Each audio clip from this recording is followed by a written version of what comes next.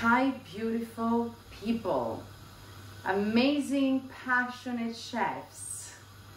I'm cooking today something so simple. You can definitely do this. If you cannot cook, you can cook this. I have some leftovers caprese from this morning and a few tomatoes that you see are already inside the oil. So, we never throw anything away. If you have something in the fridge, you have to recycle it, you haven't eaten it, you can put it together and make a beautiful pasta. I use a touch of olive oil in low fire my water is boiling, so I'm actually going to start putting my orecchiette inside.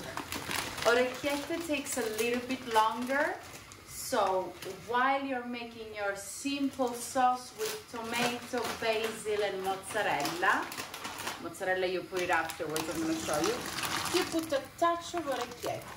12 minutes, Okay, I'm putting a little bit of peperoncino. And I'm putting my nice garlic. I don't want too much garlic in this sauce, so I put it whole. And I'll show you what I'm gonna do afterward. Don't burn anything here. You don't wanna burn it, okay? Very low fire. I have my nice tomatoes here. I turn off the fire and I start playing with them. Just few pieces of tomato.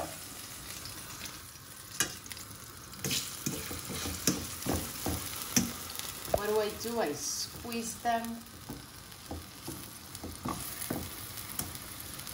These are very well ripe tomatoes. Salt inside the water only no salt anywhere else. A bunch of salt in here.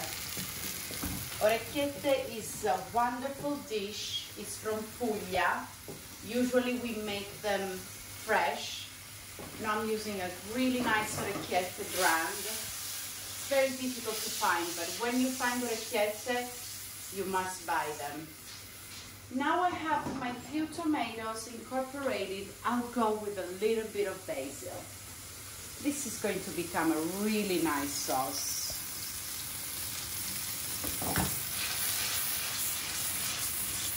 Oh, fantastic. Just a touch of wine. I have a nice passata pomodoro here. Turning off the fire so nothing kind of burns. Eh? Put a little bit of passata, a touch of passata and pomodoro, you see? So I make it a little bit more red.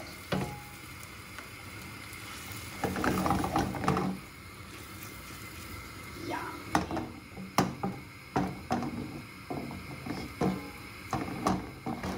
Allora, what happens here? I am making my orecchiette and while this is boiling, I'm preparing my sauce. So my sauce and my orecchiette takes everything together 12 minutes. Knife changes the taste of my mozzarella. I love to work with it my hands. I put a little bit of more basil. Look at this. I mix all together. I put a touch of pepper. If you like pepper, you put more.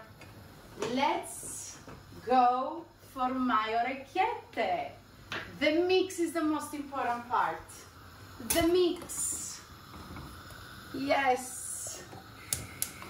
This is the deal here. The mix with the water and the tomato sauce.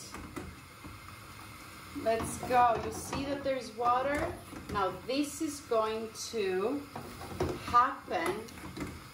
I take it out al dente because I put two minutes inside my sauce. with a little bit of pasta water, that's where the magic happens. I waited my few minutes, water is going away. I add up a little bit of more basil. If you love basil, go for it. Just go, just try new things. Look at that. You see the consistency is perfect. So now all the water is out. I'm putting a little bit of mozzarella so that it melts all together. I am crazy about this dish. You see, I put a little bit of mozzarella and then I put the rest afterwards. Look at that. Look at this. How is this dish? How wonderful this is. Just leave the water out. This is all gonna melt now. Mozzarella has melted.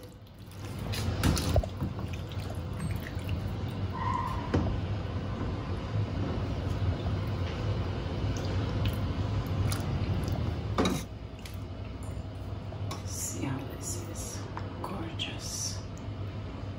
Oh. Our beautiful plate. So the mozzarella has melted. You know, I'm doing this in a really hot weather. It's okay.